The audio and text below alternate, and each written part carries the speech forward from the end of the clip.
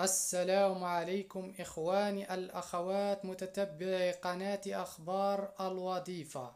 اليوم إن شاء الله سنتحدث في هذا الفيديو عن الشروط المطلوبة في مباراة الوقاية المدنية فيما يخص أعوان الإغاثة. وقبل ما نبدأ في شرح هذه الشروط المطلوبة لابد نوضح لكم بعض الأمور اللي سولوني عليها العديد من الأشخاص والتي تتعلق بالمباراة اللي خرجت يعني في هذه الأيام تلاميذ ضباط الوقاية المدنية. بالنسبة لهذه المباراة تلاميذ ضباط لا تخص الأشخاص اللي عندهم مستوى التاسعة أو ال cinquième أو ال sixième أو الباك. هذه المباراة فهي خاصة بالناس اللي حاصلين على شهادة الإجازة في بعض التخصصات.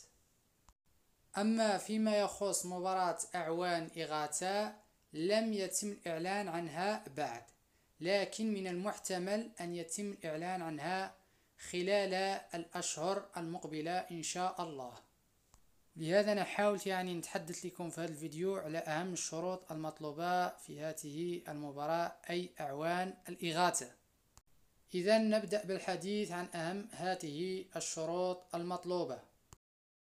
أول شرط هو أن هذه المباراة خاصة بفئة الذكور ولا تهم الإناث. والسن المطلوب خاص المترشح يكون السن ديالو 18 سنة على الأقل و 26 سنة على الأكثر. بمعنى إذا كان شي مترشح السن ديالو أقل من 18 سنة راه ما مقبولش في هذه المباراة. والمتوفرين على قامة لا تقل عن متر وسبعون. بمعنى إذا كان شي مترشح الطول ديالو متر وثمانية وستين أو سبعة وستين أو خمسة وستين إلى آخره. فللأسف هذه الحالة يعني راه ما مقبولش. كذلك بدون سوابق عدلية ثم من جنسية مغربية.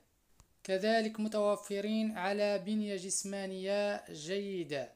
تسمح لهم بمزاولة هذه المهنة أي الوقاية المدنية. وأن يتم قبول ترشيحهم من طرف لجنة الانتقاء بمعنى كيكون هناك انتقاء. فيما يخص المستوى الدراسي المطلوب خاص المترشح يكون حاصل على شهادة التاسعة إعدادي بمعنى الثالثة إعدادي. كذلك رخصة السياقة من صنف B أو ال C أو ال D بمعنى ال permis أو يكون المترشح حاصل على دبلوم التأهيل المهني المسلم من طرف إحدى مؤسسات التكوين المهني. أو دبلوم التأهيل المهني المسلم من طرف التعاون الوطني. بمعنى شنو المقصود هنا؟ الناس اللي عندهم شهادات تسعة إعدادي أو السنكيام مثلا أو السيزيام إلى آخره يمكن لهم يدفعوا لهذه المباراة. لكن الناس اللي ما عندهم الشهادة التاسعة ما يمكن لهمش يدفعوا إلا في حالة واحدة هو خاصو يكون عنده يعني إحدى الدبلومات المتعلقة بالتأهيل المهني. إذا هذه هي الشروط المطلوبة في مباراة الوقاية المدنية أعوان الإغاثة.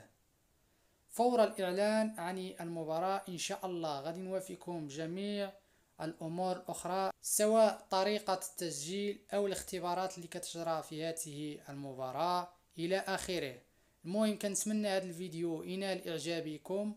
وما تنسوش تدعمونا باشتراك وتقوموا بتفعيل زر الجرس ليصلكم أي جديد. وبالتوفيق.